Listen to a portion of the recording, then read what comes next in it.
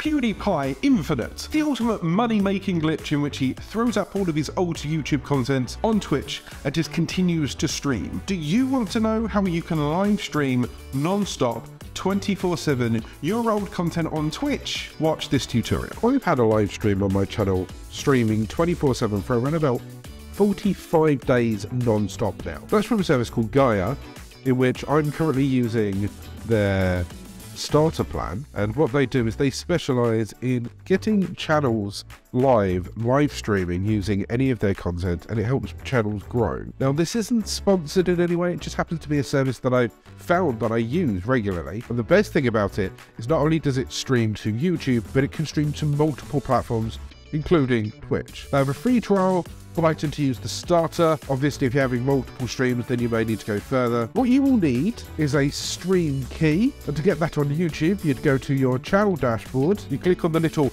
go live icon. On stream settings, you'll see this here, which is your stream key here, your stream URL, and your digest servers here. Now, if you're looking to stream to Twitch, it's slightly different. You go up to your icon here, you click create a dashboard, settings, stream, and it would be here. Now you sign into your Gyre account, select add stream. You title this, this will be the title that is in your Gyre dashboard so won't be seen publicly. Group, if you want to group them together, the platform you are streaming to, so for example Twitch, it will ask for your stream key, which you copy in here, and then this is the fun bit, you choose the video that you want looping on your platform. Why looping? What I've done is I've mushed four hours of my YouTube videos back to back.